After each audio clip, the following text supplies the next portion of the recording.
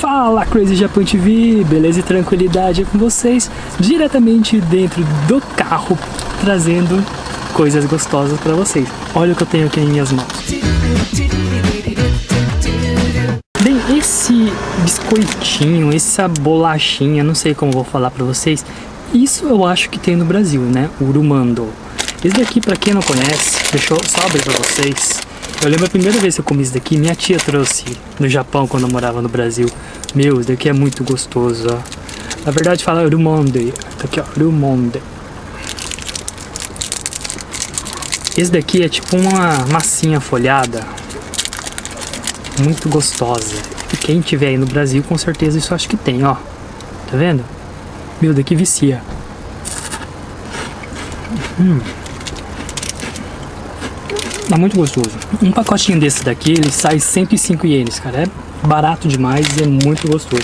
E o lançamento que tem no momento, que eu achei, que eu achei bem diferente, seria o sorvete disso daqui. Olha só que delícia que é. O sorvete, no caso, seria isso daqui. Tá? Dentro do sorvete, tem um biscoitinho desse aqui dentro, ó. Tá vendo? Isso daqui eu paguei 213 ienes. Vamos experimentar? Vamos ver se é gostoso ou não? Acho que vai ser uma delícia, gente. Vamos abrir?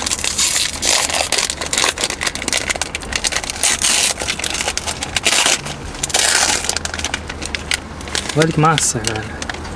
Ó. Tá escrito Bourbon. Tá? Então vamos experimentar a bagunça que vai fazer aqui no carro.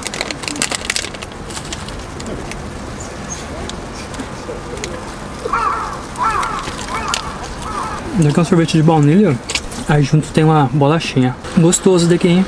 Aprovado. Então é isso, pessoal.